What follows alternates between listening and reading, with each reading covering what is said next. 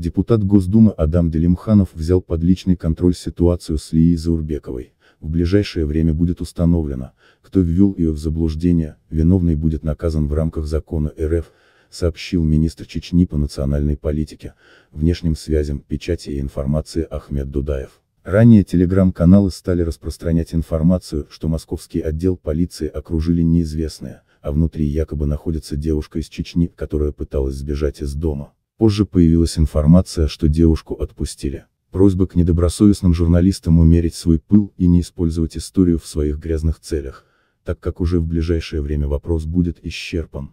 Дудаев. Адам Делимханов завтра лично встретится с близкими девушки, и отметил, что в ближайшее время будет установлено, кто ввел Лию в заблуждение и манипулирует ее.